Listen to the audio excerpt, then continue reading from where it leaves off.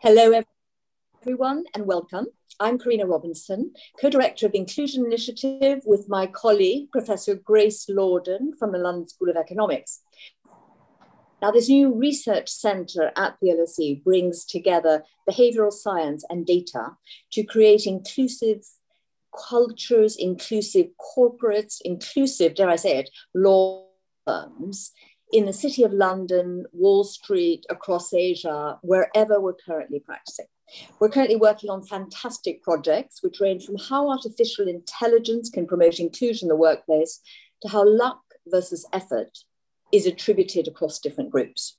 Now, do follow us on Twitter, which would be LSE underscore TII, or sign up to our newsletter. And that detail will be put up uh, in the chat box right now. The event is recorded, and after 40 minutes, I would like to ask Georgia some questions from our audience. So please put them in the chat box. This is the 10th of our Open Door, Open City monthly webinars.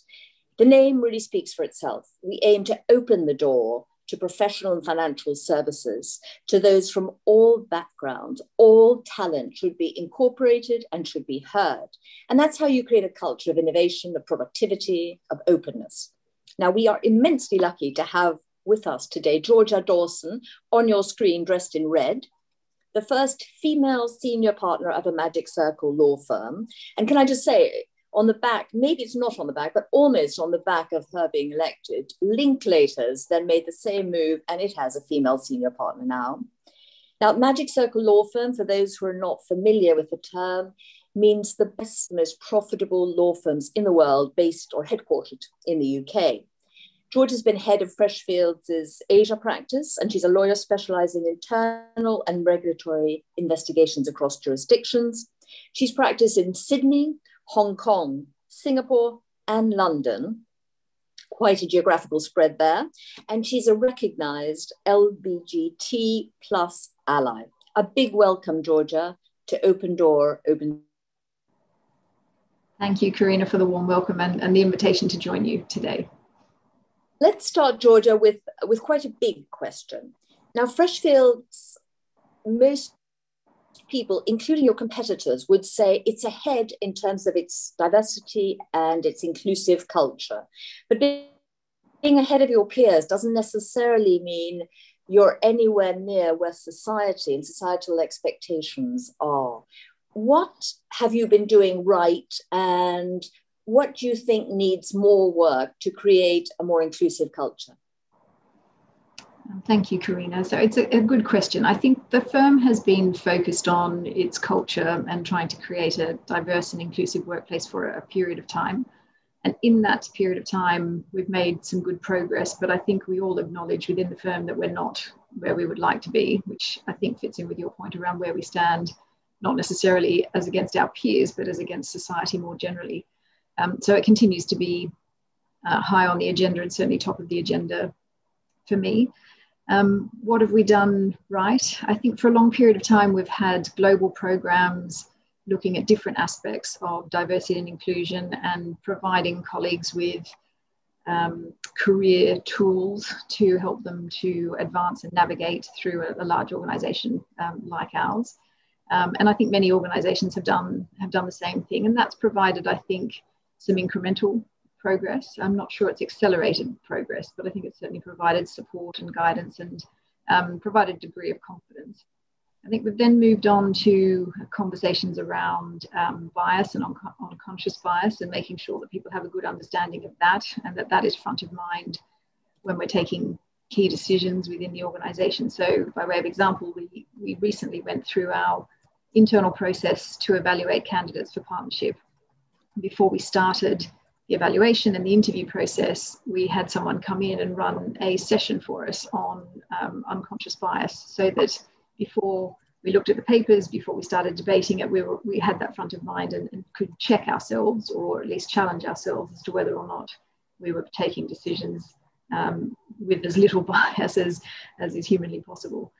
Um, I think we're now moving to, so that, there's been quite a lot of focus on um, raising awareness and I think helping people navigate within the existing structures. I think what we now need to do as an organization is look at those structures and say, are they working? Should the organization itself change to make us a more inclusive workplace? So that is um, the language we use within the organization, the things that we value within the organization, the career paths that we offer within the organization. Are they working to support our D&I objectives or not? Um, so uh, that, there's some of the things that we have done um, as an organization. A baseline in terms of culture, two years ago, we ran a, a process across um, the firm um, talking about our culture and refreshing it and re-articulating it so that it was accessible to all of our colleagues. And um, that then resulted in what's called the Being Freshfields Principles. And that provides us with a framework within the firm for how we should be interacting as, as colleagues, um, a way for us to constructively challenge each other if people are falling short of those standards. And I think that just helps to reinforce on a global basis, recognizing it's a large and complex organization, but on a global basis, what are our shared um, standards in terms of how we want to operate and the culture that we want to have as a firm. If um, if we focus on gender just for one moment, you um, announced in March, March, so a couple of months ago, your global gender diversity target. New partners should average at least 40% women, 40% men, 20% could be men, women, or non binary. Now, this year, so the same year you announced the targets, you're already at 50% for women. I mean, bravo. Okay, bravo. I bet you you're one of the few. Um, I haven't actually looked at the numbers, but I'd be willing to stake um, a good lunch on the fact that you're probably the only Magic Circle law firm that's managed to have 50% of your newly um, or newly appointed partners be women. What are you doing right there? Um, so uh, let me take that in, in a couple of uh, parts. I'll talk to the targets first. Um, going back to what I was saying before, we, we, are pleased with the progress that we've made, but we recognise that we needed to do more. And um, I felt when coming in as senior partner that one of the things that would really help us make um, positive and accelerated progress was to set ourselves some targets so that across the whole organisation, people were very focused on um, making sure we delivered on those targets, but also that there was accountability for me and the wider management team to, to deliver on those targets. So that within the organization, we came out very clearly and said, this is what we're going to do. So there's um, a lot of people watching me now to make sure that I deliver. And equally, there was some, some external coverage um, as well. And I do think that that focus on diversity and inclusion at the most senior levels of an organization is one of the things, amongst a range of others, but is one of the things that will really help organizations drive that change because um, you have role modeling that is required, you have people who are looking at this as a topic of relevance on every key decision. Um, and making sure that those decisions are reinforcing the objective of delivering a more diverse and inclusive workplace. For our most recent partner class, yes, we're, we're really, I mean, it's a fantastic group of um, colleagues and a great group of um, skill sets amongst them with uh, covering areas of the law that are going to be relevant for clients going into the future, tech, life sciences, and a range of other more traditional areas of the law. Um, that partner class was developed over a period of years. So, going back to my last answer, all of those things that we had been doing for a long period of time helped to shape that partner class. And the prior management team shaped that partner class. So, our targets came effectively after that partner class had been formed. So we didn't have a 50% outcome simply as a result of the target. It was a, you know, developing a partner class is a two to three year exercise. Um, that said, um, we are pleased that we have exceeded the 40% um, objective. And the challenge for all of us in management and me in particular is to make sure that year in, year out, we are as focused on this topic as we have been to date. It was interesting. One of the things you've said is about how making sure that that everything you look at, every decision is taken with diversity and inclusion um, and things like your targets in mind. Because what tends to happen in some firms that fall behind, one has a feeling that they look at it once a year and then they're surprised that they won't be able to get there. I think I think you're right. I think um, like any key aspect of your strategy. I think it needs constant attention um, and making sure that we have a really and, and genuine, uh, genuinely um, inclusive workplace that is attractive to diverse candidates, um, where diverse candidates can belong, where diverse candidates can thrive, excel, be promoted, um, is a strategic priority for the firm. So it needs constant attention.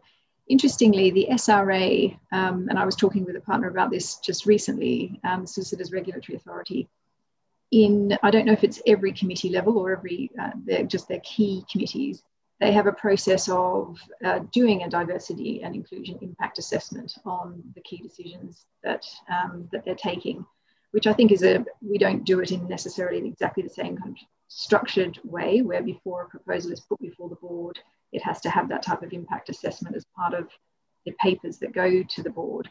But it's clearly for the SRA an important discipline, and I think reinforces the importance of this um, for those who are making the, the decisions. It's something that people need to turn their mind to. Yeah, absolutely. And the PRA is doing more and more on that too. Um, on Wall Street, the city, we appear to have gone backwards when it comes to racial diversity in the last decade or so. Yet last year, we reached a seminal moment of consciousness, hopefully a tipping point on the back of George Floyd, Black Lives Matter. You know, corporates started putting targets in place, quite hard targets, um, which they had never sort of done before. They've given management time to it, it's more accountable. I mean, do you feel we've reached a tipping point on racial diversity? I really hope so, Karina. I think um, obviously the, the proof will be in the next couple of years in making sure that this also remains front of mind for those in, um, in senior leadership roles and, and those with key decision making power. Um, but I, am very hopeful that uh, it is a tipping point. Part of our global targets that we set um, back in March, one element of that looks at um, ethnicity. And as a global organization, uh, we need to frame that in slightly different ways in different parts of the firm to reflect the situation on the ground and, and where we need to be making an effort for our workplace to more accurately reflect the communities in which we work. Um, that said, in, in London and, and the US, a focus on our um, Black associate population and Black uh, partner cohort is really important. And within our uh, targets and the commitments, which are the key actions that we're going to take, there's a real focus on, on that. Um, and so for us, in those targets and commitments, um, ethnicity will be a key focus over the next five years. You've had all sorts of awards for being an ally in LGBT plus, and I'm, I'm going to mention one because we don't have time for all the others. Stonewall Global Senior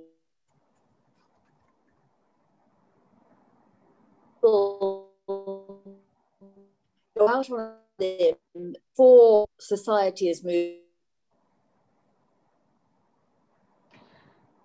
Karina, I think I lost your connection there, but I think you were asking me about um, the LGBT plus advocacy and and why I'm why I focused on this over the last several years. Is that right? Yes. Okay. Thank you.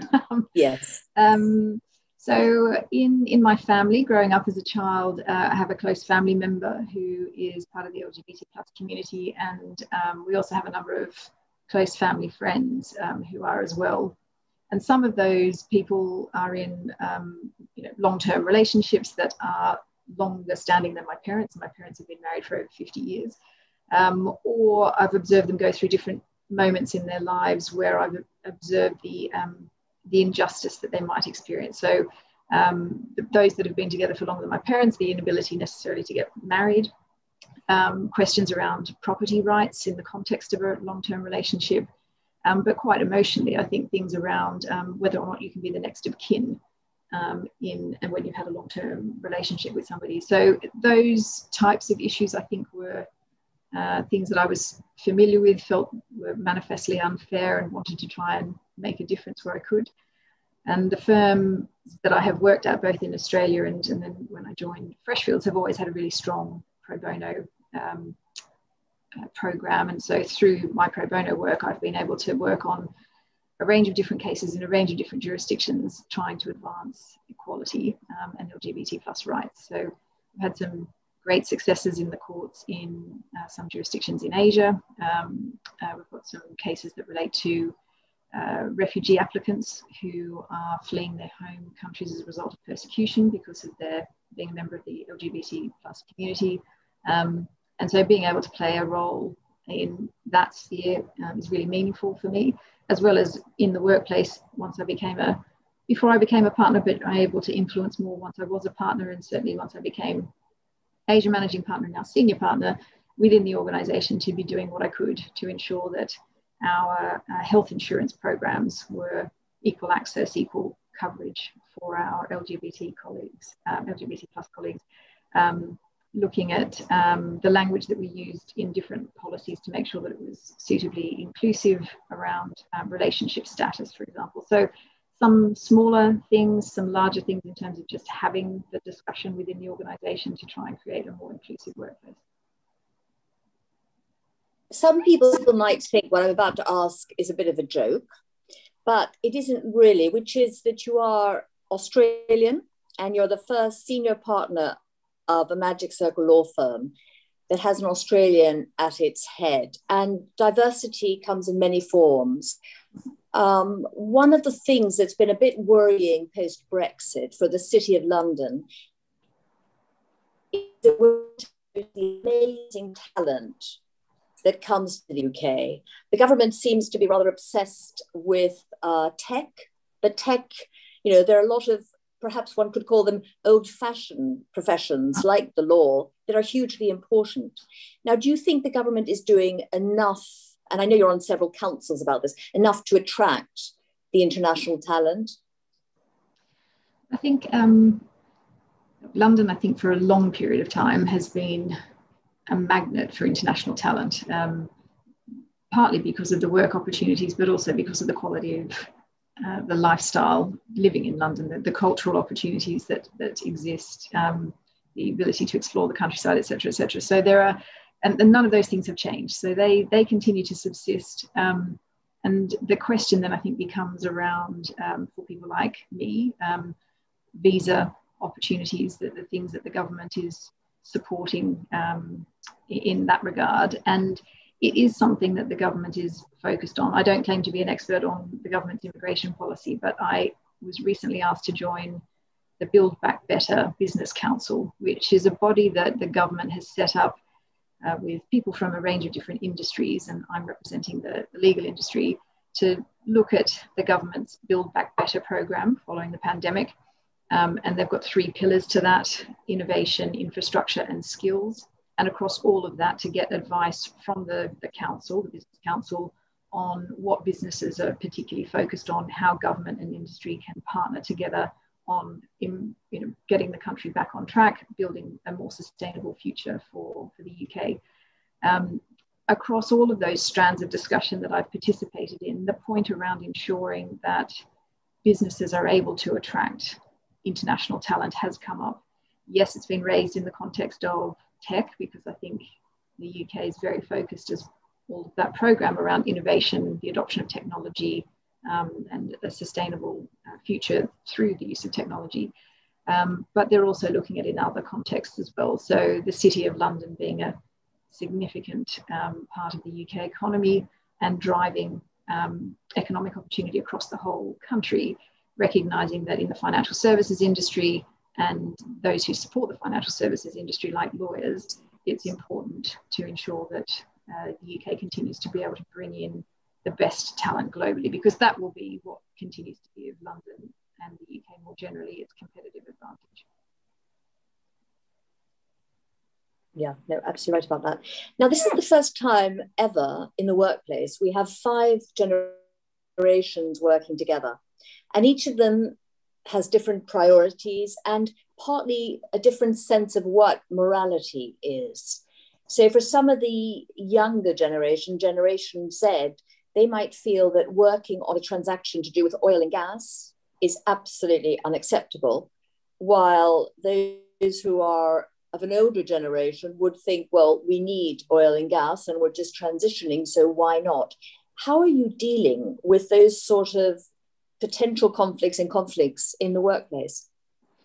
Um, fortunately, not conflicts so far, Karina, but um, healthy discussion and debate. I think it manifests itself in a range of different ways. I'll come back to responsible business in a minute, but it, it manifests itself in um, things like the return to the office. Um, different, um, so far for us, different generations within our organization have had a very different view over the past 12 months about the, the amount of time that should be spent in the office. Now, it's a generalization. It's absolutely not um, the rule across the whole across the whole firm, but you certainly can see that um, in some instances, some of our um, more senior colleagues quite like being in the workplace. That there's an established routine that they have followed for a long period of time. They're used to the infrastructure um, and have been less receptive to hybrid working. That said, their peers, same age, same background, etc. Some people are absolutely loving it and probably not looking forward to returning to the office. But it, it, it is coming through in things like that. Um, in certain situations, it, there's a difference in terms of um, tech adoption, um, familiarity with tech concepts, um, uh, familiarity with um, the change in client demands around service delivery, all those types of things. So uh, there's those couple of elements. There's also just the style of communication within an organization as well, and needing to appeal to that broad church of, of colleagues. Um, some people who prefer communications from the management team to be in writing, some people who would prefer to listen to a podcast, others who would prefer to watch something um, like this. And so we need to be quite thoughtful, we need to be quite creative, and you've got to be prepared to have a constant um, feedback loop to make sure that what we're doing in each of those areas is working for, for everyone. Um, because going back to what we were talking about before around inclusion, there is also, I think, a point around uh, generational diversity or making sure that we're creating a workplace that is appealing to all, all age groups. And so we have to be doing that um, in this arena as well. The, um, corporate social responsibility, did you want me to address that? Because I, I, don't want yes, you to think please. I was trying to dodge that. Um, that it's a it's a really interesting topic, and I think it's one that um, many organisations are working through um, at the moment.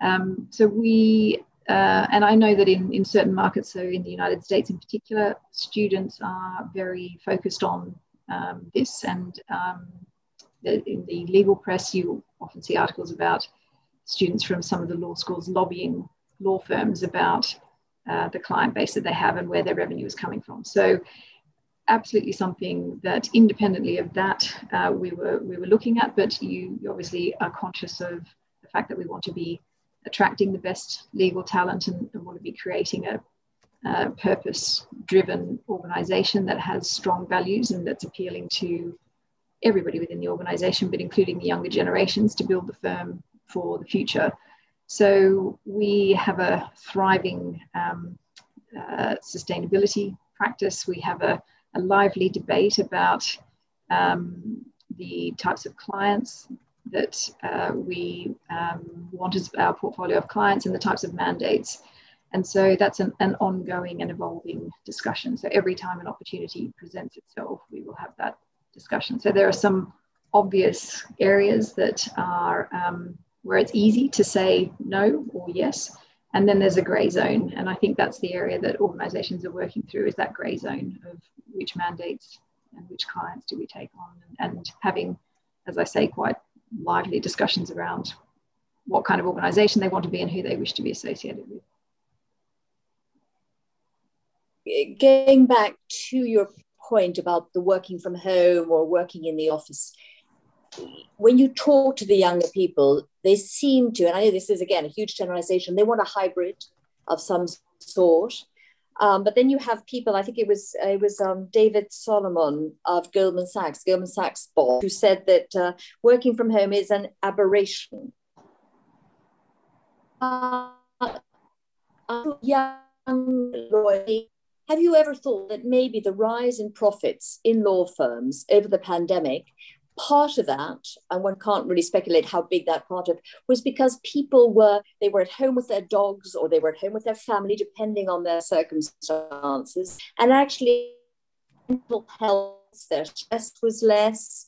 You know, they could go for a walk in a field if they happen to live outside London. So maybe, you know, how do you manage to deal with those, as you said, some of the senior partners who want to work from home, some who want to be in the office? How do you keep everybody happy, Georgia?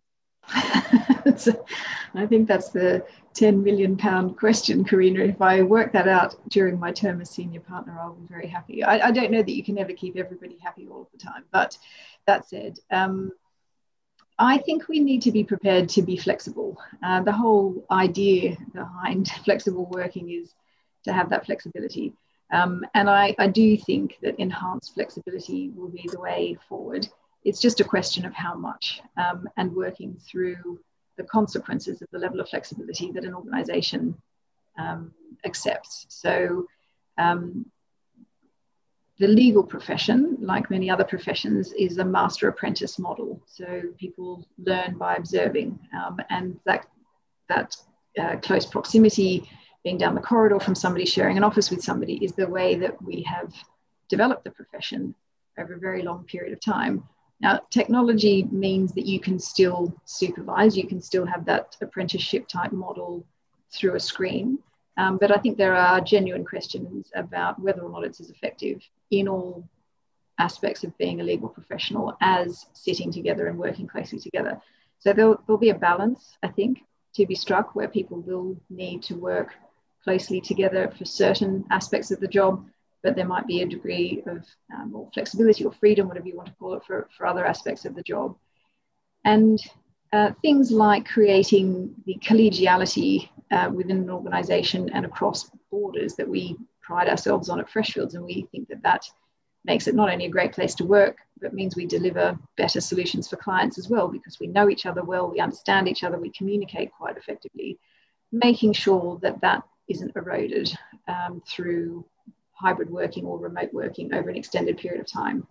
Over the past 15 months, organizations have been very successful at navigating the change because there's been a history of building relationships within the organization that have held people together and they've meshed us together for a period of time. And I think, in my mind at least, there's a question about for how long can we rely on that um, to hold things together over the longer term? And what are we going to have to do to bring people together to create that glue and the culture in, in the organization. Um, and uh, I think the thrust of your question was how do you keep how do you keep people happy? I, I think within Freshfields, we're taking an approach of recognizing that this is new to the organization, that we will be learning as we do it and um, going into it with, I guess, that innovative mindset that we don't have all the answers on day one, that we will have to work it out as we go along. We will potentially fail in some areas, we then need to course correct and test something else. So um, that is certainly what we'll be trying to do across the firm and just having a, an ongoing conversation about what's working, what isn't, and what we can do to fix it. You, um, you talked earlier about the, the long term, building a firm for the long term, and that's what partners always do. And I mean, here you're going to see my unconscious bias, but partnerships, difficult you know, you are managing a set of prima donnas, if I may say so. But, but the reality is, it's what they might call, and they used to say about Goldman Sachs, long term greedy. You're building a firm that you would like to see way past when you've left to continue and continue being innovative and fair. And yet there is always, there's always a, well, the temptation of listing. And Mishcon de Reya is set to become the most highly valued law firm on the London stock market because the partners have voted to, to float. 83 year old law firm. What do you think of partnerships floating and would Freshfields consider this? Very interesting question. Be- before I come to it, I do have to, for the record, say that I wouldn't call my partners prima donnas, Karina. I would call them very intelligent, highly ambitious um, individuals, but um, yeah, who I very much enjoy working with. Um, on on the question of listing, um, I, I, don't think it is in our certainly not in our near term um, horizon. I think um, our the way we have developed the firm over time, the global footprint that we've developed, the sense of pride in the ownership that partners have of the firm, and the entrepreneurialism that comes from that is uh, part of our DNA, and I think is probably you know, one of the ingredients of our success. And, and so I think we would probably be loath to interfere with with that. Um, it would have been an interesting debate to sit and listen to, I think, at um, and, and to hear what motivated the partners to make this change after to, after all that time. And, and also, I think probably in a few years' time to to hear their views on how they how they feel it's going, what are the pain points, what's been better than they had expected, what's been more challenging. Um, but no, it's not not in our future. How do you keep uh, a culture of innovation going? I mean, do you do it if if I think of this is obviously not at all professional services, but think of um, Nescafe ended up, or Nestle, sorry, Nestle ended up having to sort of set up a different a different body to come up with innovation that was almost separate from the main the main headquarters the main body. Now you've got a silicon valley practice you've you've brought in but innovation is everywhere. How do you um, how do you breed innovation? It's a, re- it's a really good question and i think um, we've probably got a lot to learn from our clients who are exceptional in this area. So we do um, talk to them about it and try to learn from from their successes I think many organizations have done what you described in Nestle's case, which is to set up a specialist unit um, designed to focus on this. Um, I think over time, maybe there's been a slight shift in the thinking about that because that then tends to suggest it's a specialist, separate area that only some people can play a role in. Um, where I think the tech companies have maybe been slightly different about that is to encourage everybody to have a you could call it an innovative mindset or a continuous improvement mindset. And so that every single day, every employee is coming to work thinking about how things could be different, how they could be better, what's a brilliant business idea, how can we disrupt the market. Um, and if you've got an organization like us of 5,000 people thinking in that way, you'll probably make a lot more progress than if it, you've separated it out as a separate um, area. That said, we do have a specialist team of uh, lawyers and technologists who work together on creating innovative tech products um, to help with client service delivery. So it might be something like a, an enormous M&A transaction, very complex due diligence on the assets relating to, to that particular transaction, and tools that we have developed to run that process more efficiently, store that information more effectively, and make that information available to our clients live so that they can see what is being uncovered through the due diligence exercise. It could also be uh, for us, we've also developed, um, developed that one, but we've also developed uh, things to help us run mass claims. So where there might be a product liability issue or something like that, and multiple claims being launched in multiple jurisdictions, tech tools to enable us as the lawyers, but also our clients to manage that enormous uh, scale project. So I think there are some areas where you will certainly need specialists focused on particular problems within the business and trying to use their unique skills to, to crack them. But I think uh, for us, we are trying to create that continuous improvement mindset across the whole business so that everything that we're doing, whether you are in our marketing department, our finance department, or a lawyer facing clients, that you're trying to look at how we can do things more effectively every day. I mentioned Silicon Valley and your operations there. What you've done in the US, where you are, for the non lawyers on this call, incredibly successful, you've acted totally different uh, in terms of your strategy in the US. What you've done is bring in excellent teams from other law firms. You've you know bought them in rather than merging or or buying um, another a US law firm why sort of how has that worked for you? And is this going to be the strategy going forward or might you consider a merger? Um, so you're right. Silicon valley is a very exciting um, development for us. We opened almost 12 months ago. 12 months ago next week. Um, so we're doing some things in the next couple of weeks to celebrate the first year and have a birthday party for the for the new team. Um, and they come, as you say, from a range of different law firms. Great practices, great credentials. Uh, it presents a different challenge to bring together people from a range of different backgrounds. You've got to you've got to integrate people. You've got to create a common identity, a, a sense of team, and, and common purpose. Um, and those that we've brought on board are um, unbelievably culturally aligned with the firm. And so the integration has been very easy. Um, and they've got very clear objectives and, and they've been very successful so far in the, in the past 12 months. Um, that process of choosing individuals or a couple of members of a team and bringing them on board um, has worked really well for us. I suppose different organizations take different approaches, but for us, we've listened to our clients um, about what skills they're looking for from their lawyers, where are the gaps in our offering potentially, or where would they like to see us broaden our team. And then we're trying to meet those specific client needs rather than merging with an large law firm that might have a range of different practices or skill sets that our clients aren't necessarily looking for or where we already have the existing offering. So this way we can build and bolt on to what we already have in a way that responds to, to client need. And that is what we can intend to do going forward. Freshfields achieved its best ever rankings last year in Asia Pacific um, and you were the uh, senior partner there, not least due to great China practice. But China is becoming a major issue because it is integrated in the world economy. We're all doing business with the Chinese all the time, but the geopolitical strains have become more and more difficult. And for many firms, they're being asked to choose between the West and China. And this is all it makes it very, very awkward for corporates caught in the middle.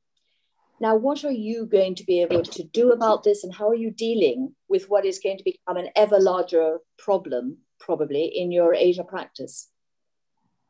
Um, so we, we are fortunate to have a strong Asia practice. We have um, seven offices across the region in Japan, uh, three in China, two in Vietnam, and Singapore.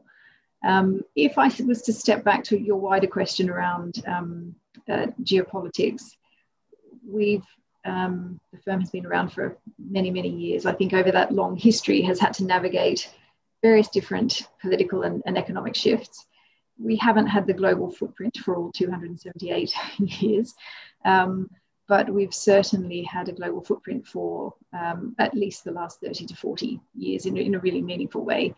And I think um, the breadth of practices that we have, I think the connections that people have with government and industry mean that as and when um, these shifts or changes arise, we're reasonably well placed to to maybe be uh, have advance notice of, of certain things or to be able to respond and help our clients navigate the change.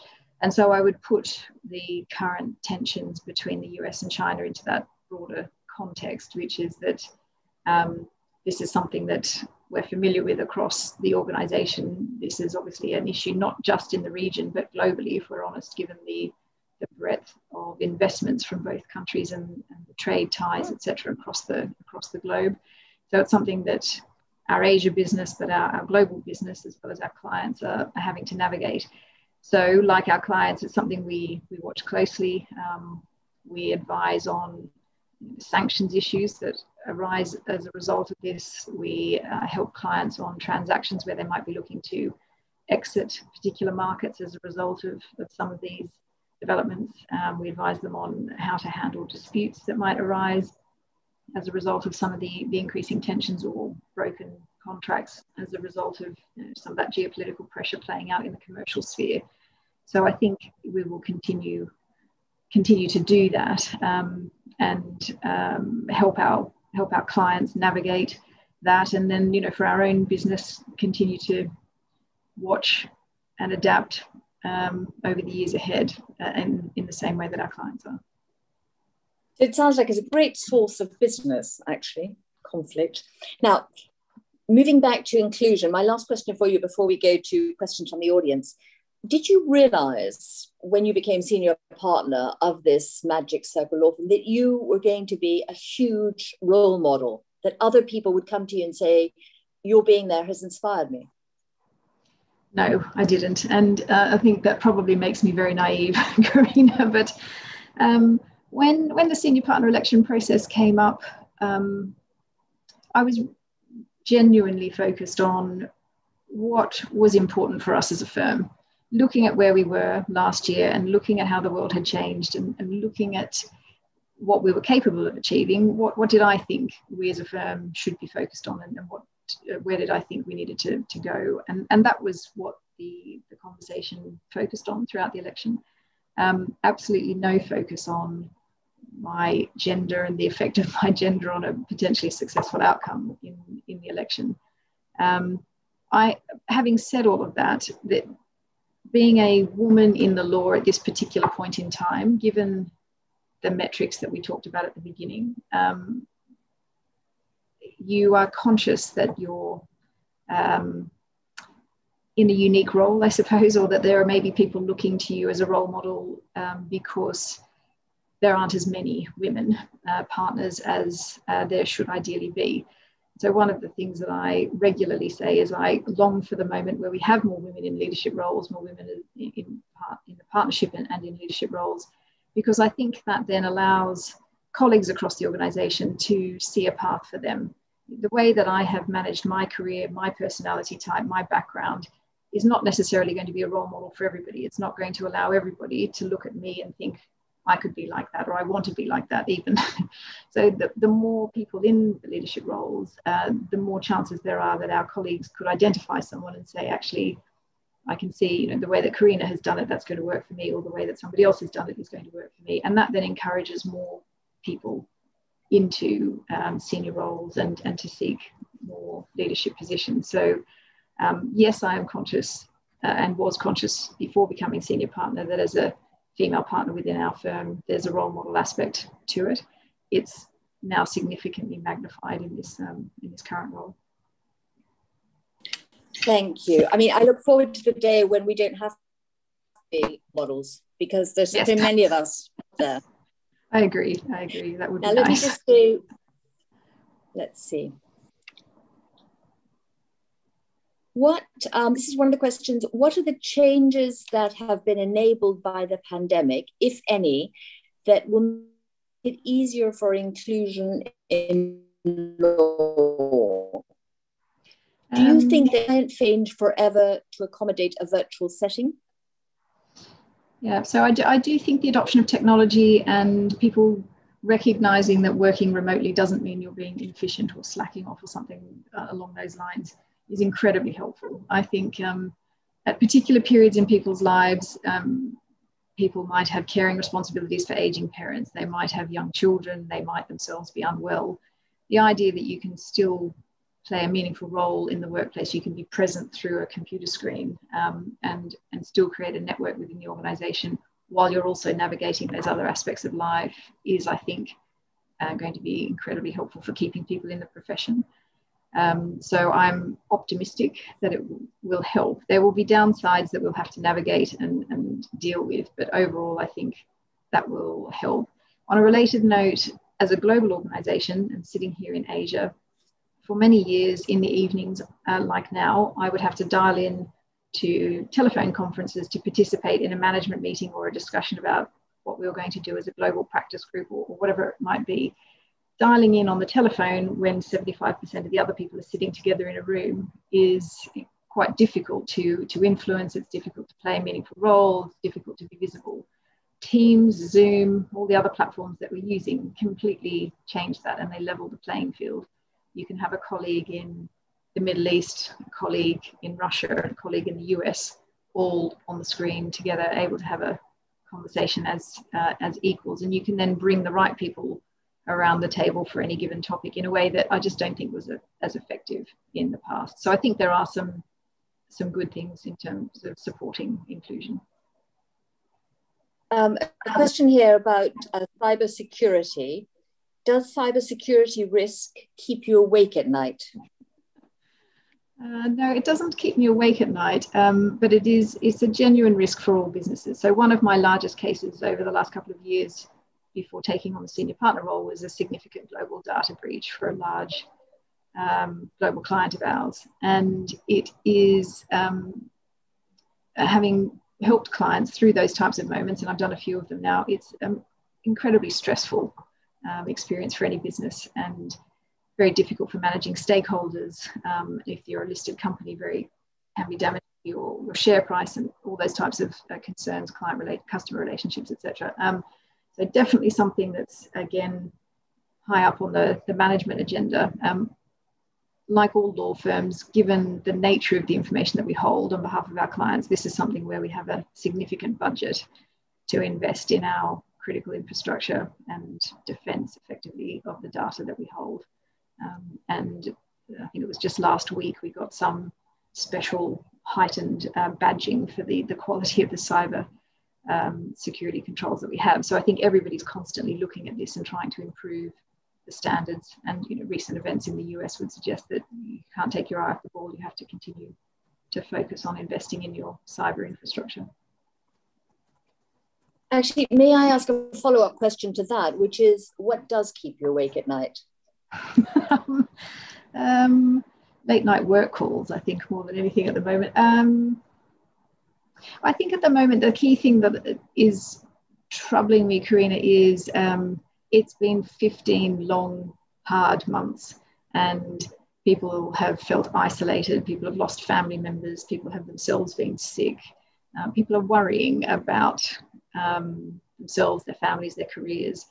And uh, I want to make sure that we're doing what we can and what I'm doing what I can to create an environment where people have the support that they need. So, mental health support, um, flexibility around how they deliver their work to accommodate those competing demands, the opportunity to take a break. So we did just announce recently some Freshfields days where we've given colleagues over the summer two additional days for the whole firm to be closed um, on a Friday in most markets, on a Sunday in the Middle East, so that people get a long weekend. Um, and they're typically attached to a bank holiday weekend, so people are ideally getting a four day weekend. We've also announced some community days so that our teams can come back together and be giving back to our communities, recognizing that we are very fortunate um, throughout this past 15 months and using our either our legal skills or our time in ways to give back to our community. So making sure that we're doing what we can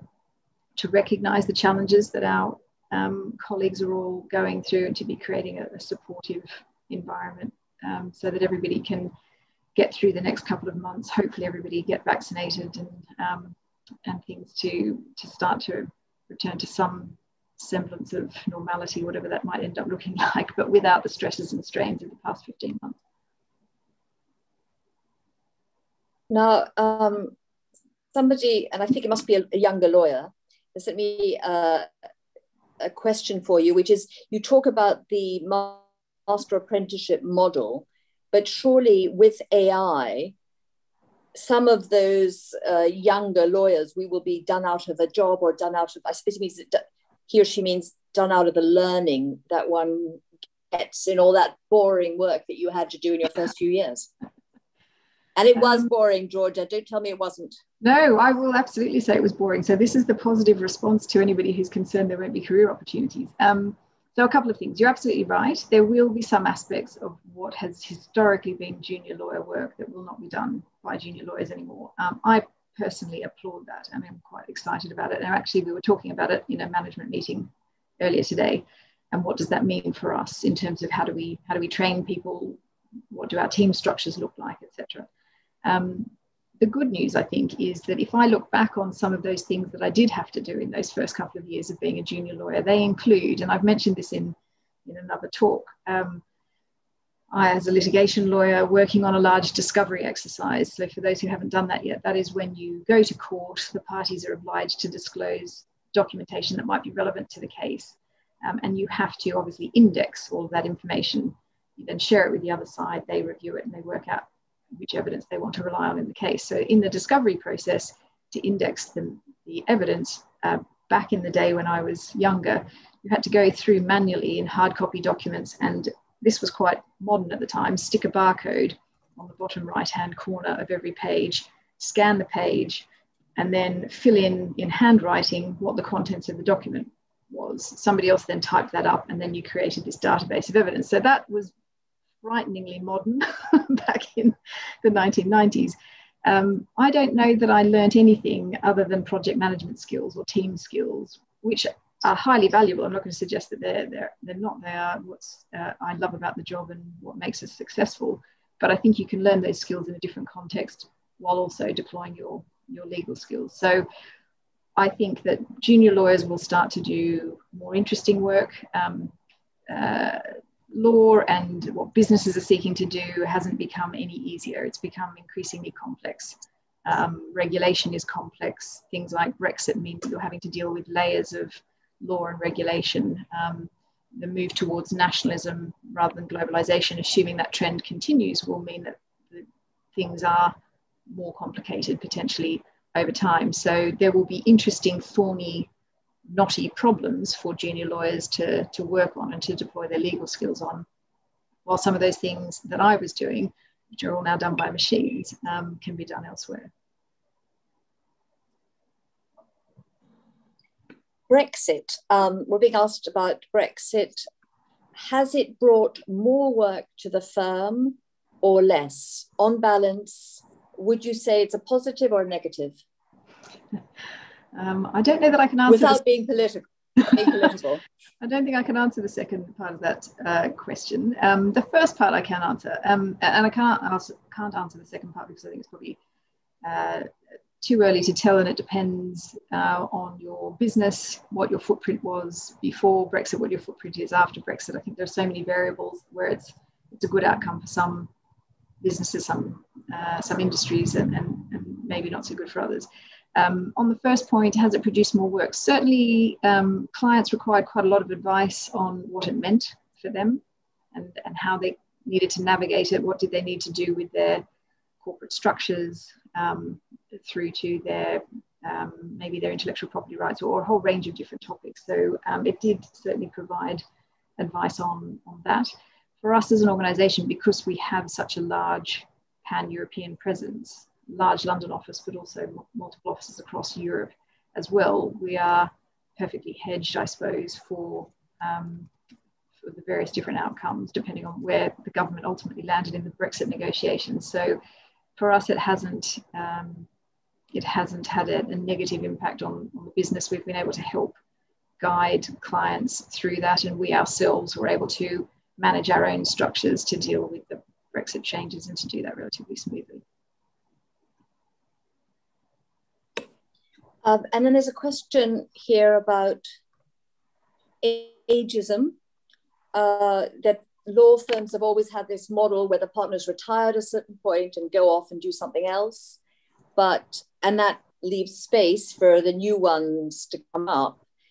But surely now when you know it can be um, it's illegal to really to make people retire at a certain age how are you going to deal with that going forward um, i don't think we've ever had a standardized approach across the firm so we've uh, always had and still have today partners who are uh, with the firm for um, many many years and and uh, including you know including into late 60s um, uh, others who choose to either retire completely or to move on to something different in, in their 50s, between 55 and, and 60. So it's always been um, different, I think, in, in different markets, and, and individual partners have chosen different paths depending on their personal circumstances and their interests. So um, uh, I don't think any of that will change. I think we, some of our partners are incredibly talented, incredibly experienced, and our clients want them around forever. They don't ever want them to retire,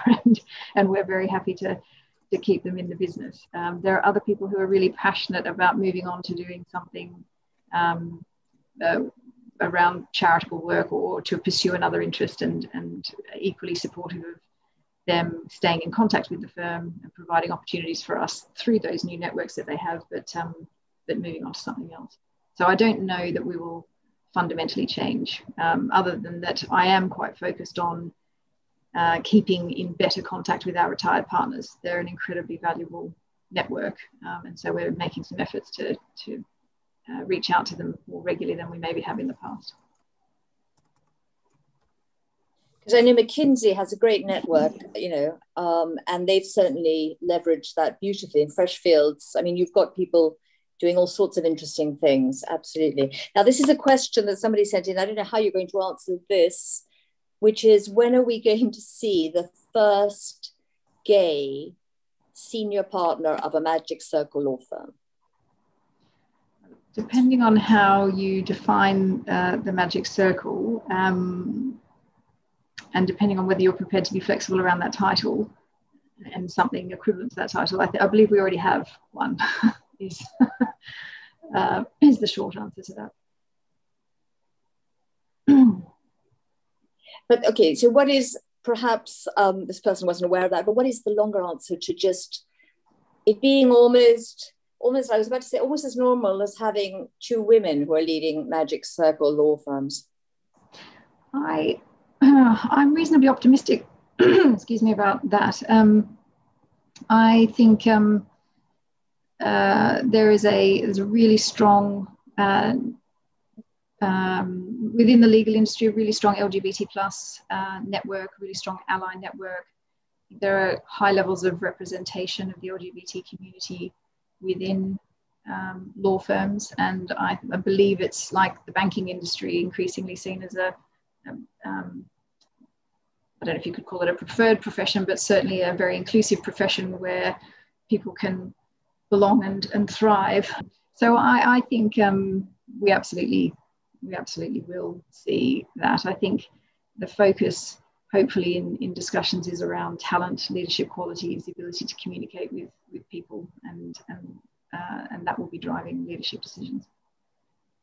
Thank you very much, Georgia. I fear we have uh, no more time. A huge thank you to you for giving us this, this interview by a number of people in your own firm. But um, whether you want to be a role model or not, you're an amazing role model. And hear from us all at the Inclusion Initiative and Open Door, Open City. Thank you so much for being with us today. Absolute pleasure, Karina. Thank you. Thank you for the nice um, conversation. And I'm sorry if we had some tech challenges today, but hopefully the audience was able to capture most of it.